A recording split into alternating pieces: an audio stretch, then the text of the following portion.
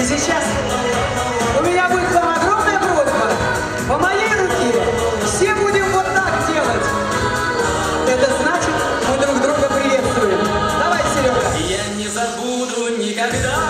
Никогда. Последней встречи у опушки, откуда в этой тишине